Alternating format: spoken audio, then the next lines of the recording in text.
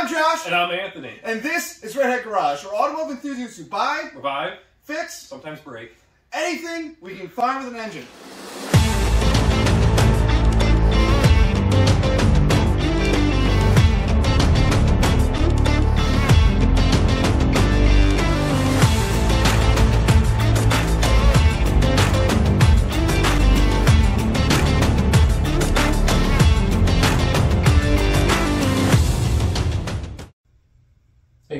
Couple weeks later. We're sitting here in the guest house at Josh's. Typically not the type of scene that we video in, but for the tractor, as this is part two for that video, we have to do some things that are a little unconventional. We got to put the bearing in to the axle shaft hub, as it was the seals were leaking in it, and that was what the last video was about, was taking this thing apart. We got some of it back together. We ordered all the parts. It took forever to get them. Uh, sorry on the delay on that. But we got the collar, the bearings, the seals, all that's here now, and we're getting it ready to get put together. I guess saved you guys the boredom of putting in the seals and the race on the hub and the studs because three of them on this side of the axle shaft were actually loose and just popped off. So we did all that, just pounded them in. That's really simple stuff. Hopefully you guys don't need any direction on that. So now what we're gonna end up doing is we got the bearing actually in the oven over here in the guest house. Don't do this in your guys' regular oven or at your mom's or anything like that. She'll probably get mad at you, especially if the part gets oil on it. I clean this one out really good, brake clean, you know, hand clean it. That way it doesn't stink too bad. It'll just be metal getting heated up. We do that because it needs to come over top of this surface on the shaft and it's a tight fit. So you heat it up, it expands that, slips on there, you just tap it down with a, a punch and a hammer, and you should be good to go. We got these big channel locks to grab the bearing and slip it on the shaft as we'll probably only have one chance before it cools down. So stay tuned for that, it's heating up. All right, this bearing's been in this oven at about 350 degrees for about 15 minutes. Let it sit in there for a while, get everything all nice heated up evenly, so that way it expands evenly and it goes on the shaft evenly. So I'm gonna go ahead and take this thing out now with the big old channel locks. Don't grab them too tight, and uh, if you do, it'll mess up the roller bearings, so don't do that. So I'm gonna go ahead and do that, grab it just enough to hold it on there securely and drop it on.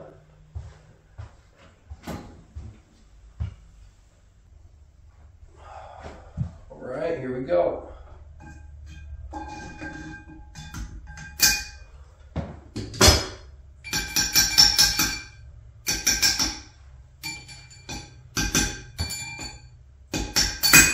Goes. Just popped right down. So you want to do too is to make sure it's seated. This has a machine surface where it sits at and the hub presses against it so it doesn't move anymore. So it should be all the way down. As you can see, just a couple little taps to verify that it's good to go. Now we'll have to do the collar, same type of way. Seen people do these in a little bit different way. They use torches to actually heat these things up red hot. I don't know if this oven will work for this, but we're gonna go ahead and try it. So see how that goes. Probably actually gonna turn the oven up too. All right, that collar is in the oven. It's at 450 degrees. That way that expands more because there's no good way to put it on there. Otherwise you just mess it up and have to buy another one. And they're not fun to get and they're expensive. So we're not gonna mess it up. So if it doesn't want to go on, I'm just gonna take it back off and we'll heat it up with torches. So stay tuned for that. This thing's gonna be in there for about another 15 minutes. So it's been about 30 minutes actually. I put that collar in there and set it at 450 degrees. Now that the stove is making some weird noises, I think it's probably time to take it out and try to see if it fits. Let's do that. I can get these to the right size. That should be about right.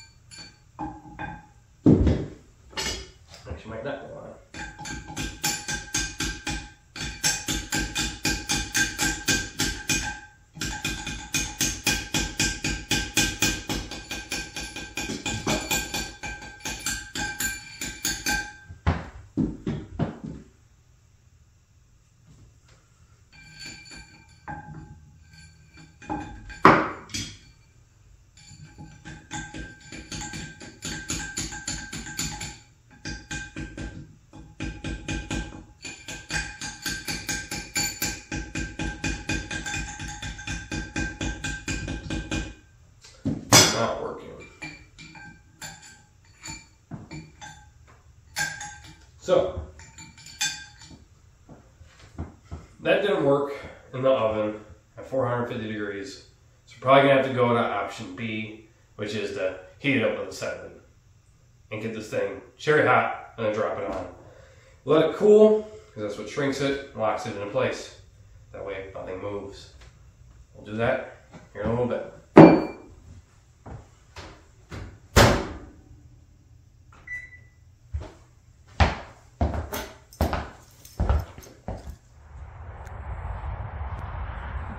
Well, as you guys can tell, it's now a, a couple days later. We tried to bake the bearing retainer. Didn't work, so we ended up having to get a uh, set of torches to use. I ended up having to take it over to my brother-in-law. Thanks, by the way, Brandon. Um, he lives down the road, so it took a couple days to get that figured out and scheduled, and to get acetylene and everything else like that because he, he ran out and had a hose break and stuff. So, thanks to the time change, we haven't had a whole lot of time after our day jobs to work on things like this. So everything's been in the dark, it's been outside, we don't have the greatest lighting, so a lot of this stuff hasn't been filmed. But you guys probably noticed that the axle shaft is in the tractor. And the brakes are still gross and have not been touched. That is because after we got everything done on the bearings and the seals, we have to go ahead and shim these axles on each side of the tractor. The other one's in as well. We spent all last night until like 10 o'clock at night shimming this thing. It's not fun. You gotta pull out everything. The shim's go in behind the backing plate for the shoes. And then we gotta try to put this entire axle and hub assembly in all at once and line all these shims up. So I actually was wrong when I took this apart. I said two things. I didn't think there was supposed to be that many shims.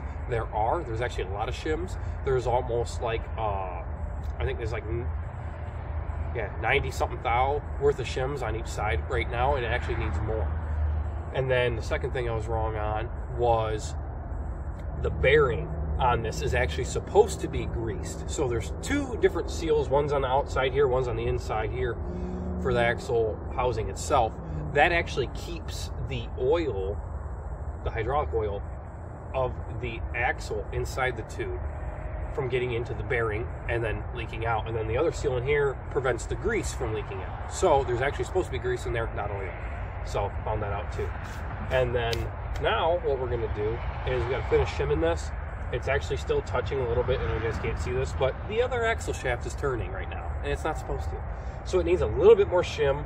The problem that we are running into with this for parts is that we are unable to get everything that we need in a timely manner. I bought every single shim that is called for on this tractor that was in stock that I could find at our local Massey Ferguson dealer.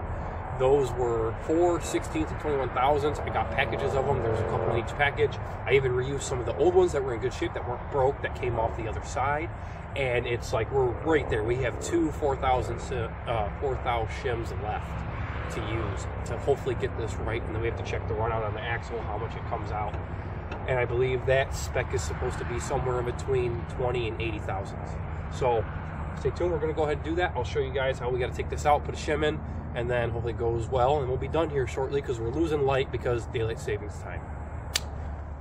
Now we're going to go ahead and take this axle shaft off to put the new shims in. Fairly tight. Helps if I go the right way. Super fun. So, this has to be held up. Shaft comes out. And all these shims just stay there. There we go. Why is it so heavy? So, when we're doing this process here with these shims, we're not actually replacing the seal on the inside of the axle housing yet because this thing's come came out like five times already. It's already tore up the seal, even more than this side already was. So after we get this all done, we know our tolerances are all in spec, everything's good. Then we'll replace the seal, put the axle shaft in, button everything down, redo the brakes, and we'll be done. So this is bag, the last bag of shims I have for it. Magco, they so kindly wrote down from the part number what thickness they are. These are 4000s. I'm guessing I'm probably just going to use both of them because I don't want to put this on and off uh, any more times than I have to that I've already done. This is not fun. It's very heavy. So it's got eighth thou added on this side. This is dirty, but it doesn't really so much matter. So these lined up, and then take one of the wheel studs that pop, or one of the wheel studs, one of the studs for the hub, pull it out, put it in, hold everything in place, then grab the axle shaft and push it all in at once. It's not been a great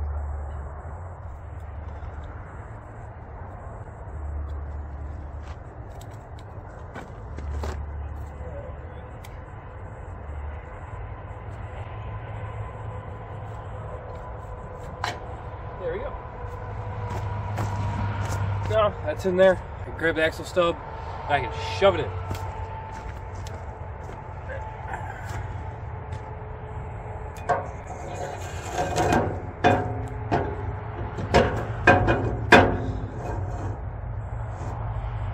There we go. Now, I'm send this thing through as quick as I can so everything grips. Alright.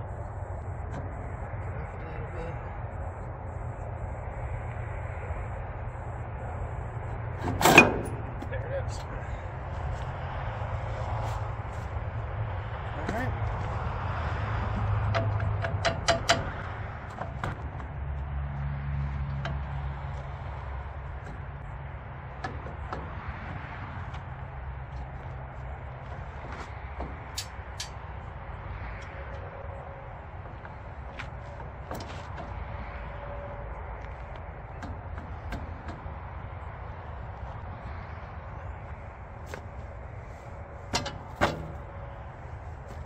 Good enough.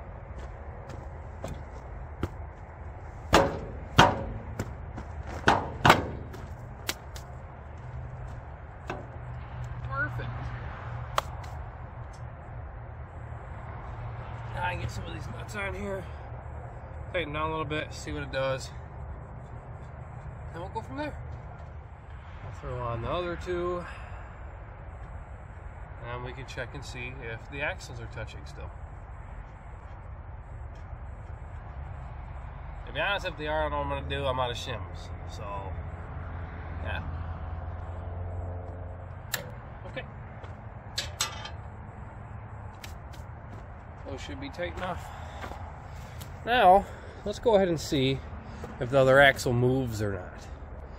So, you guys go ahead and watch that for me. Can you see?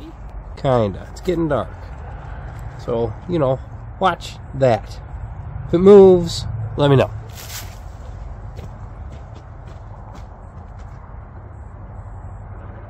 Was it moving?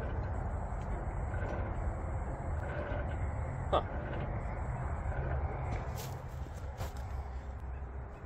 Well, what'd you see? I, I can't see. So let's let's see. Well, it looks like you guys said it was still moving. So I looked back at the video and you're right, it is. So that's not good. That means that we need more shims, which I don't have because I bought them all. So here we go again with more parts issues. We are going to go ahead and uh, get back to this when we can get more shims. Last time we were messing with the tractor, we ran out of shims. We didn't have enough.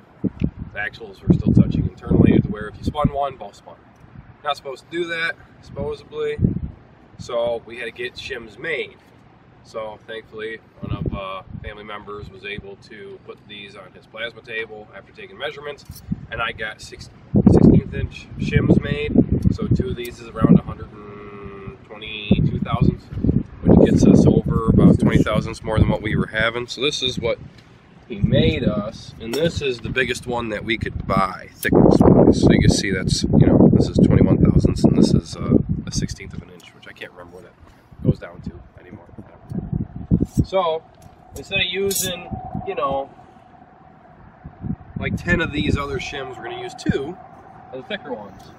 And hopefully that gets us where we're supposed to be at, at least on one side. Where are we shimming?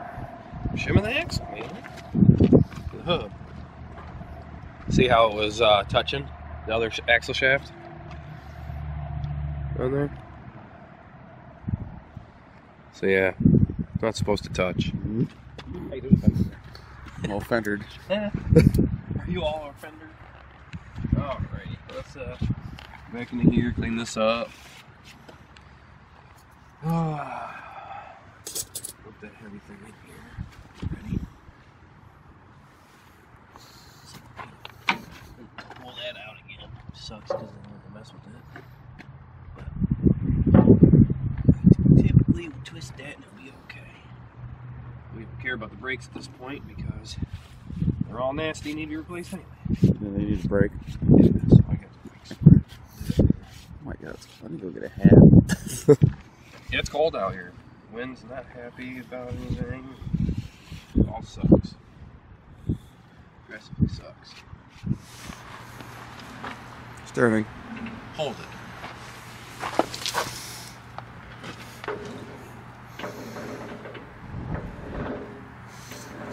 Like I don't have a lot of resistance. It's like right there. Yeah, like it definitely grabs because it's like fighting me. Yeah, tire weight more. Maybe that's it. So Put the spacers on both sides. no, I just put that side hasn't been touched. I put the spacers on this side because you're only supposed to have to do one. So We'll go around the lip. yeah. What do you mean? I'll show you. There it goes. So, this is the ones that Brian's made. This is one that was store bought. Mhm. You can see, like, he did a really good job. But, what do you notice? Oh, it's not. The inside diameter was not fine cut. Which, I don't know if that was going to make a difference or not. But if you look, It won't fit over the. Yeah, store bought. Hub, shim. See how it goes over that? Mm-hmm. This goes on the inside of, you know, everything. This one doesn't fit over top of it. This the one that Brian made. Oh Oh, yeah, so it's not gonna. So it's kicking it out. So it has to be. I gotta freaking grind it down. Right. Alright, well at least we'll be in the warm so we can go do that. Nice.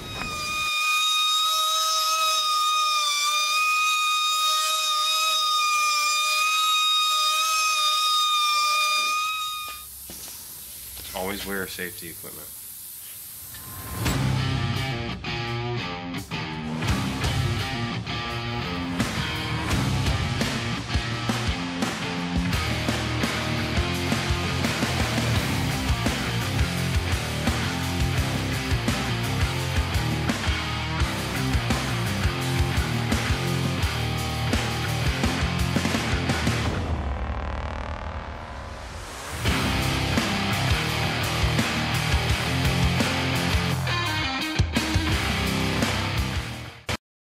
So it needs shims on one side only, between the backing plate for the shoes and the axle shaft itself, and uh, our axle shaft housing anyway. And we finally figured that all out. And then after we, we get everything done, it's supposed to have two to eight thousandths worth of uh, play in it. So we got our indicator here.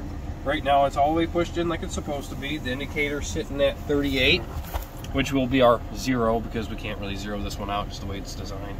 China.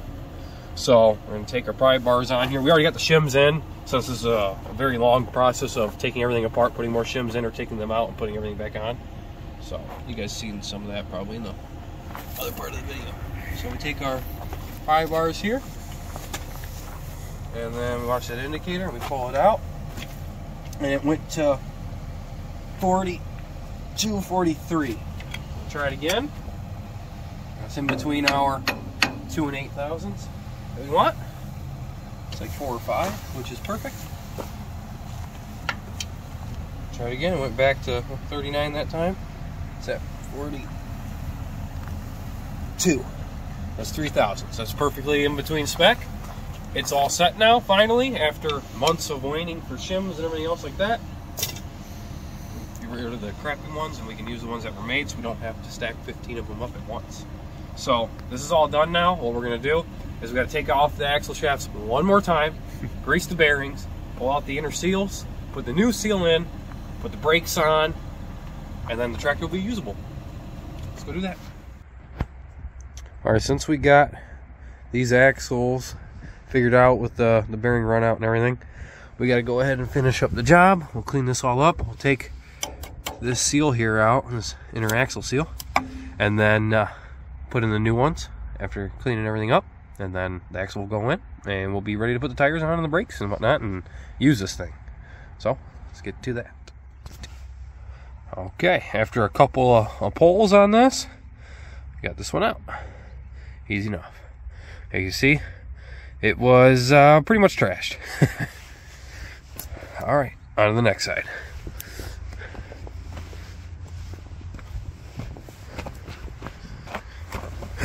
This was the good side. So, get to it. This guy in here. And we just get a couple pulls. And it'll finally come out here in a second. I'll give this guy a couple poles. Get this thing out of here with a seal puller.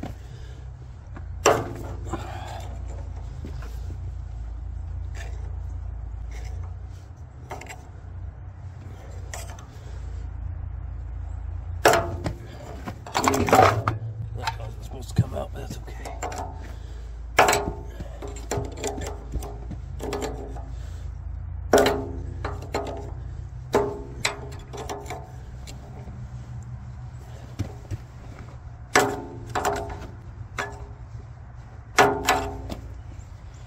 This one's shredding up pretty bad.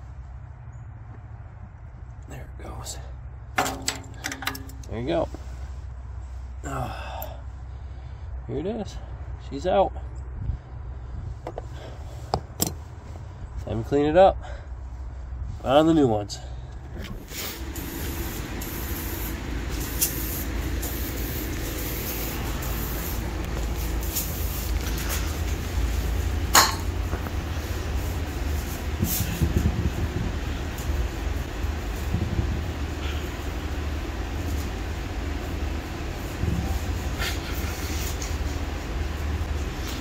Subscribe to my OnlyFans. Clean it! Oh man, I like the way you clean that shaft. Videos for later for your use. Alright, the seals are out. Seals in Michigan? Yep, just stick it in there. You got a needle. I That'd been don't. Nicer, but Well, if you brought it, uh, we'd have one. I Yeah. bought this for the Zerk fitting, not for this. Yeah, we'll figure it out. I'll get in there and Fix my tractor. push it in there. I fix my tractor. I want to do it. We got the bearings on the axle shafts greased, and now we're ready to put in the seals that we just took out. So, go in this way, spring side in. Just how the other ones came out. So, put it in. Looks like it'll fit, and then we got this nice bearing puller tool that we're gonna use. Smack it in with a hammer. All right, it's in there. A little bit done it there, but that's fine. It's all steel. It's all set back. It's machined. Set in there. The next side. That's it.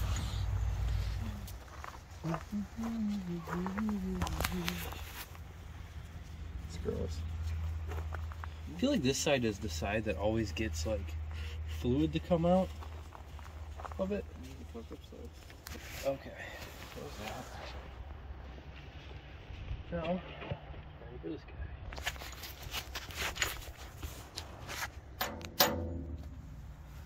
There you go. Wanna Verify. There it is. Done. Shafts go on. Use a little bit of RTV or on the shim surfaces. Not that you need to, but it's supposed to be sealed off, but there's grease in there, you don't want your dirt in there, so we'll seal that off too. That's an option that you can do. So we're gonna do that. All right. We got the axle shafts and everything in last night. Everything's tightened down. Brakes are good to go. We got some help to muscle these filled tires back on this I'm help. tractor. he's got red hair too, so he's loud. Let's go ahead and get this thing on here. They're filled with beet juice or something, so they're super Okay. heavy. Okay, muscle, flip it up. No. All by yourself. That yourself. ain't gonna happen. I'll make myself look like a fool. All right. Ready? One, two, three. gotta get out from under the bridge. No, go my way. Roll it. Yeah, roll, roll. There you go. Now go up. Here you go. This was, this was a lot heavier than the other side. Yeah. Okay. All right, cameraman. Oh, Maybe. Jack it off. Yep, jack it up, maybe. Yeah, no, it's like there, but it's there. Yeah, it's on the jack, so that's not good. Can we? I don't think we're gonna be able to do it this way. No, we have to go out and like Yeah, we lift have it up to and roll come it on out. around. We're gonna go back down and roll it. So go down. We can get out. How far? Go down about another inch. Yep, like that. Just roll it as Yep, it come. goes. Yep, just like this. Okay. Now recenter. Go that We need to go further There out. you go. Yeah, further. Yeah, yeah, but I can't roll. we have the implement here and there. We can't lift it up from this position. Travis, get that three point in. Tuck it in. Yeah, move the arm. Yeah, just hold it. Yeah, just move it. There you go. You can come out a little bit. Like right there, lift it. Go up. Now roll it back. There we go. All right. Jesus. Alright, so. Alright. Up the top. All right, lower it. Travis. Lower it. Yeah, lower it down. As we don't hit the jack. Yeah, well, this second hit The jack stand. Yeah. Yeah, well, we might. Stop. Right there, John. Go, uh, yep. Go up. Just hold it. Stop. Wait. Don't do anything. Oh, you're okay. You can put that nut on there a couple threads. Ain't gonna go nowhere. Well, I want to get two on there before we start moving it. So that way it doesn't fall off. All right, uh, Travis. Now, uh, keep this bottom in. Go ahead and go up.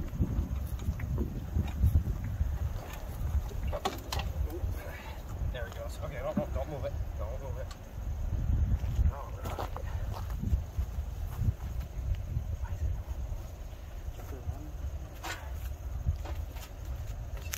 Dummy. Okay. So heavy. Where's the impact? Right here. Oh. Stop recording now. Gotta cut the reel This is down. gr- this is not green. This is red. Your eyes deceive you. Sorry, bro. Okay, now we're gonna have to go down, just enough to get this on the hub center.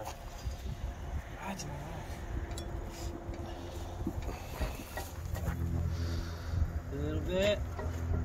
I didn't want to try to do that with one hand. Right there. Locked in. All right, now lift it up. That'll get it. Any of the tweaking off of it. Yep, that's good.